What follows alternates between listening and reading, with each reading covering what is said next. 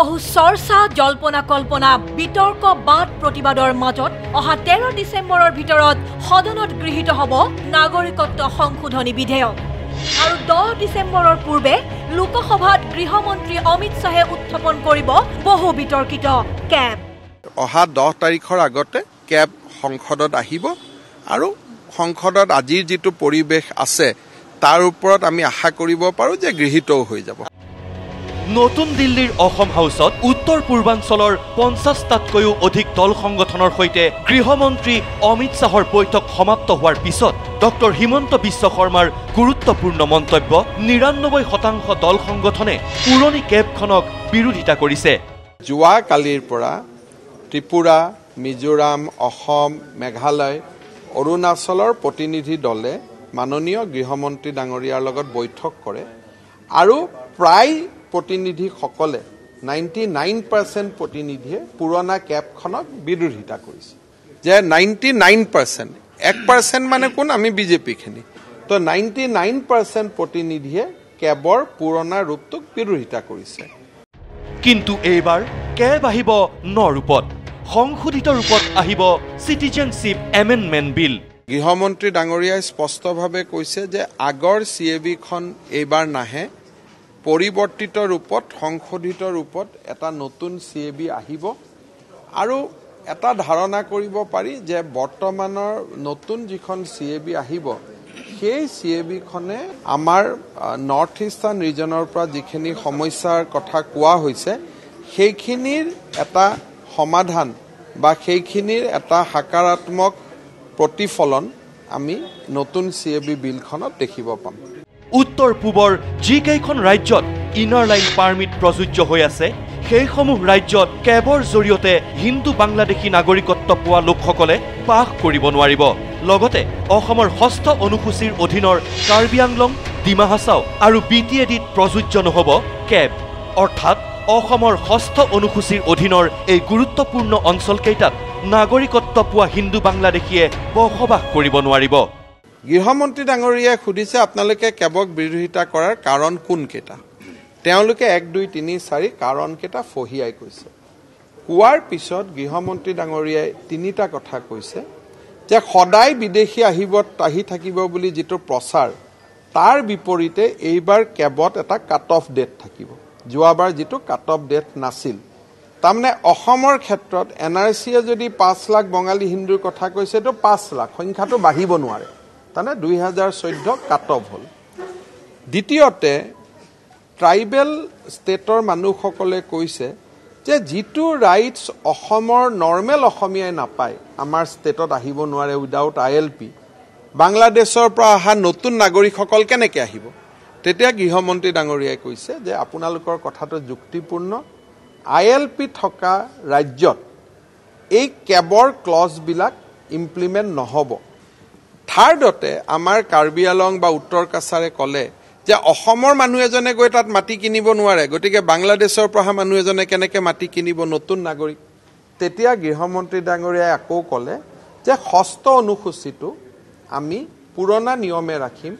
কেবৰ নাগৰিকত্ব পোৱা মানুহে ষষ্ঠ অনুসূচীৰ ভিতৰত কোনো নতুন অধিকাৰ নাপাব। ন ৰূপত আহিবলগীয়া কেবত থাকিব। অসমীয়া ভাষা সাহিত্যৰ সুৰক্ষা। অৰ্থাৎ অসমীয়া ভাষা সদায় ৰাজ্য ভাষা হিচাপে অসমত পৰিগণিত হৈ থাকিব। অসমৰ ফালৰ পৰা কোৱা গ'ল যে এই যিসকল আহিব তেওঁলোকে যিহেতু বঙালী ভাষা কয় গতিকে অসমীয়া ভাষাৰ ওপৰত সংকট আহিব নেকি? যদি কালি এটা হিচাপ হয় যে মেজৰিটি অসমীয়া নে মেজৰিটি বঙালী যদি মেজৰিটি বঙালী হয় আমাৰ কি ৰাজ্য ভাষাৰ পৰিৱৰ্তন হৈ যাব নেকি? তেতিয়া অমিত শ্বাহ ডাঙৰীয়াই ক'লে যে ক্লজ ছিক্স কমিটিয়ে যদি ৰিকমেণ্ড কৰে যে অসমীয়াৰ সংখ্যা কিমান সেইটো ডাঙৰ কথা নহয় কিন্তু অসমত সদায় অসমীয়া ৰাজ্য ভাষা হৈ থাকিব। বা এনেকুৱা আন যিকোনো ধৰণৰ ভাল যেতিয়া ৰিকমেণ্ডেশ্যন দিব এইবিলাক দাড়ি আৰু কমাও নবদলোৱাকৈ মই গ্ৰহণ কৰিম। খালি এইটো সংবিধান বিৰোধী হ'ব নালাগে ইমানেই। ডক্টৰ হিমন্ত বিশ্ব শৰ্মাৰ মতে সংশোধিত কেব আহিলে পুৰণি সিদ্ধান্তক বিবেচনা কৰি চাব বুলি আশ্বাস দিছে অধিকাংশ দল সংগঠনে। এইখিনি কথা শুনাৰ পিছত সকলো প্ৰতিনিধি দলে এটা জেনেৰেল আশ্বাস দিছে যে সঁচাকৈ যদি আপোনাৰ কথাখিনিৰ প্ৰতিবিম্ব এটা আমি নতুন বিলখনত দেখা পাওঁ হয়তো আমি আমাৰ পুৰণা স্থিতিক আমি পুনৰ বিবেচনা কৰিম অসমৰ বিছটাকৈ দল সংগঠনৰে বৈঠকৰ পাছত মিত্ৰ দল অসম গণ পৰিষদে কয় যে আশ্বাস দিয়া মতে কেব সংশোধিত নহলে বিৰোধিতা কৰিব অগপয়। ইয়াৰ বিপৰীতে মিত্ৰ দল বি পি এফে আলোচনাত সন্তুষ্টি প্ৰকাশ কৰিছে। আমি পুনৰ দোহাৰিছোঁ যে যিখন বিল আপোনালোকে যোৱাবাৰ উত্থাপন কৰিছিল সেই বিলৰ আমি তীব্ৰ বিৰোধী আমি বিৰোধিতা কৰোঁ। আমি কিয় কেবখনৰ আমি বিৰোধিতা কৰিছিলোঁ?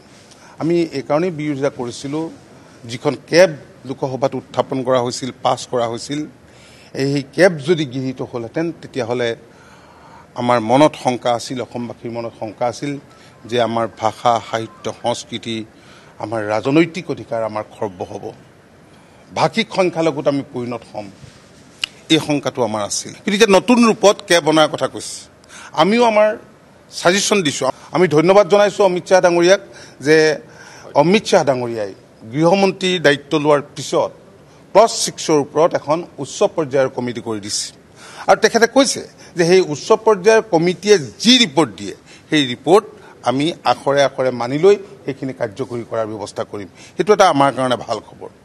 আমি আমাৰ মনৰ যিটো শংকা যে ভাষিক সংখ্যালঘুত পৰিণত হ'ম আৰু সেই সম্পৰ্কত আমি গৃহমন্ত্ৰী ডাঙৰীয়াক কৈছোঁ যে সৰ্বকালৰ কাৰণে যাতে অসমীয়া ভাষাটো অসমত ৰাজ্য ভাষা হিচাপে স্বীকৃতি পাই থাকে আৰু জনজাতীয় যিবিলাক ভাষা আছে সেইবিলাকো আমি সুৰক্ষিত হোৱাটো সমানে সুৰক্ষিত হোৱাটো আমি বিচাৰোঁ। সেই সম্পৰ্কত তেখেতে আমাৰ কথাখিনি মনোযোগেৰে শুনি আমাক আশ্বাস দিছে। বিশেষভাৱে সদৌ অসম ছাত্ৰ সন্থা জাতীয়তাবাদী যুৱ ছাত্ৰ পৰিষদ সাহিত্য সভাক বিশ্বাস আৰু আস্থাত লৈ এই সম্পৰ্কত আগবাঢ়িব লাগে। এশ ছাব্বিছখন আসনৰ ভিতৰত এশখন আসনেই সংৰক্ষিত কৰিব লাগিব। আৰু লোকসভা ৰাজ্যসভাৰ কেইকেইখন আসন সকলোখিনি আসন খিলঞ্জীয়াৰ কাৰণে সংৰক্ষিত হ'ব লাগিব। আৰু ইয়াৰ উপৰিও ইয়াৰ উপৰিও ছয় জনগোষ্ঠীৰ জনজাতিকৰণৰ কথা কৈছোঁ। গতিকে ড্ৰাফ্টখন দেখাৰ পিছত আমি চাম। ড্ৰাফ্টখন চাই পেলাই যদি দেখোঁ যে ইয়াত অসমীয়াৰ স্বাৰ্থ সেই ড্ৰাফ্টে আঘাত আনিব তেতিয়াহ'লে আমি বিৰোধিতা কৰিম। আমাৰ ক'বলগীয়াটো হ'ল যে খিলঞ্জীয়া মানুহৰ যাহাতে এই বিলখন পাছ হৈ যোৱাৰ পিছত ক্ষতি হ'ব নালাগে। মানে অসমৰ মানুহৰ ক্ষতি হ'ব নালাগে যিটো আগৰ পৰাই এটা আশংকা হৈ আহিছে। গতিকে আজি গৃহমন্ত্ৰী ডাঙৰীয়াৰ পৰা যিখিনি স্পষ্টীকৰণ পালে আমি সন্তুষ্ট আমি সুখী আৰু তাত আমাৰ নৰ্থ ইষ্টৰ কোনো মানুহৰ ইমান চিন্তা কৰিবলগীয়া বিষয় নাই। নাম্বাৰ ওৱান মই কৈছোঁ যে ছয় নম্বৰ দফাৰ কথাটো তেওঁ কৈছে যিখিনি সাধাৰণ মানুহ আছে খিলঞ্জীয়া অসমীয়া মানুহ আছে এওঁলোকৰ কাৰণে ছয় নম্বৰ দফাটো মানে অসম চুক্তিৰ ছয় নম্বৰ দফাটো খুব মানে ধুনীয়াকৈ ইয়াত কলা সংস্কৃতি ভাষাৰ পৰা আৰম্ভ কৰি মাটি বাৰীৰ ক্ষেত্ৰত বা ৰাজনৈতিকভাৱে যিখিনি সুৰক্ষিত মানে হ'ব লাগে সেইটো সাংবিধানিকভাৱে এইটো কৰা হ'ব। বাকী ছিক্স চিডুল এলেকাত ছিক্স চিডুলৰ যি আইন আছে সেই আইন মতে ছিক্স চিডুল এৰিয়া সুৰক্ষিত হ'ব ছিক্স চিডুল এৰিয়া তাত নাহিব। ইয়াৰ বিপৰীতে A I U D F আৰু আমছুৱে আলোচনাৰ কালতো কেবৰ বিৰোধিতা কৰি গৃহমন্ত্ৰীৰ সন্মুখত তেওঁলোকৰ বক্তব্য ৰাখে। এই কেব চিটিজেনশ্বিপ এমেণ্ডমেণ্ট বিল আমি এইটো অপ'জ কৰিছোঁ। এইকাৰণে অপ'জ কৰিছোঁ। প্ৰথম কথা হ'ল যে এই বিলটো ধৰ্মৰ ওপৰত ভিত্তি কৰি অনা হৈছে। ৰিলিজিয়াছৰ ওপৰত অনা হৈছে। আমি প্ৰ- প্ৰশ্ন সুধিছোঁ আজি মাননীয় হোম মিনিষ্টাৰ চাহাবক যে ৰিলিজিয়াছ পাৰ্চিকুৱেট যে হৈছে তাৰ প্ৰমাণ কি? দুই নম্বৰ কথা যে দুহেজাৰ চৈধ্যৰ একত্ৰিছ ডিচেম্বৰলৈকে কিমান মানুহ আহিছে এই মানুহৰ তথ্য কোনে দিব? ষ্টেট গভৰ্ণমেণ্ট চেণ্ট্ৰেল গভৰ্ণমেণ্ট আৰু বি এছ এফ এইখিনি কোনে দিব পাৰিব? তেখেতে দিব নোৱাৰে। আমি আজি অমিত শ্বাহ ডাঙৰীয়াৰ বৈঠকখনত আমি এই কথাটোৱেই কৈছোঁ যে যিহেতু এই সমস্যাটো সমাধানৰ কাৰণে অসম চুক্তি স্বাক্ষৰ হৈছিল আৰু অসম চুক্তিটো গোটেই ৰাইজে মানি লৈছে গতিকে অসম চুক্তিত আঘাত কৰাকৈ কোনো ধৰণৰ সিদ্ধান্তক আমি সদৌ অসম সংখ্যালঘু ছাত্ৰ ইউনিয়নে মানি নলওঁ। অসম সাহিত্য সভাই কেব সন্দৰ্ভত অৱলম্বন কৰিলে কৌশলী স্থিতি। মাননীয় আমাৰ অমিত শ্বাহ মহোদয়ে কেইটামান গুৰুত্বপূৰ্ণ কিছু কিছু কথা ক'লে আৰু গুৰুত্বপূৰ্ণ কেইটামান কথা কৈছে যিকেইটা কথা নেকি লিখিতভাৱে আমি পোৱাৰ লগে লগে আমি অসম সাহিত্য সভাই আমি কেতিয়াও আমি দুই এজনে আমি কোনো কথাই সিদ্ধান্ত আমি দিব নোৱাৰোঁ। সেইকাৰণে আমি গৈয়ে আমি আমাৰ কাৰ্যনিৰ্বাহ বা কৰ্ণধাৰ সভা পাতি আমি অসমৰ ৰাইজক আৰু আমাৰ কেন্দ্ৰীয় চৰকাৰক আমাৰ দৃষ্টিভংগী স্পষ্টভাৱে আমি যে আমাৰ যি নেকি অসম চুক্তিৰ ছয় নং দফা অনুসৰি যিখন সমিতি সেই সমিতিখনৰ যি নেকি বক্তব্য বা তেখেতসকলৰ যিটো নেকি পৰামৰ্শ সেইখিনি তেখেতসকলে পোৱাৰ পিছতহে বাকীখিনি কথা আলোচনা কৰিম বুলি কৈছে। আৰু কেইবাটাও ইতিবাচক কথা কৈছে ইফালে এপছু আৰু সদৌ অসম জনজাতীয় সমন্বয়ৰক্ষী সমিতিয়ে এক কৌশলগত স্থিতি গ্ৰহণ কৰি কেবক নৎসাত নকৰাকৈয়ে জনজাতীয় আৰু খিলঞ্জীয়াৰ স্বাৰ্থ সুৰক্ষাত গুৰুত্ব প্ৰদান কৰে। আজি গভৰ্ণমেণ্ট অফ ইণ্ডিয়াক আমি স্পষ্টভাৱে কৈছোঁ যে priority is the protection of the right and privilege of the indigenous people of north east ethnic people of north east and tribal people of north east সুৰক্ষা বুলি ক'লে আমাৰ ভূমিৰ সুৰক্ষা নাই ভাষা সাংস্কৃতিক সুৰক্ষা নাই আমাৰ পৰিচয় অস্তিত্বৰ সুৰক্ষা নাই আৰু সেই কথাবিলাক গভৰ্ণমেণ্ট অফ ইণ্ডিয়াই যোৱা সময়ত যেনেকৈ এড্ৰেছ কৰিব লাগে কৰি অহা নাই। আলোচনাটো কৰিম আমি আলোচনা কৰিম আমি বিভিন্ন সংগঠন আছোঁ আমি চিচিটোৱা হিচাপে এতিয়ালৈকে আমি একো বিশেষ আমাৰ ফালৰ পৰা একো কোৱা নাই। আলোচনাত মিলিত হোৱা এই দল সংগঠনৰ উপৰিও সদৌ অসম ছাত্ৰ সন্থা আৰু এ জে ৱাই চি পিৰ সৈতে অহা তিনি ডিচেম্বৰত বিস্তৃত আলোচনাত মিলিত হ'ব গৃহমন্ত্ৰী অমিত শ্বাহ।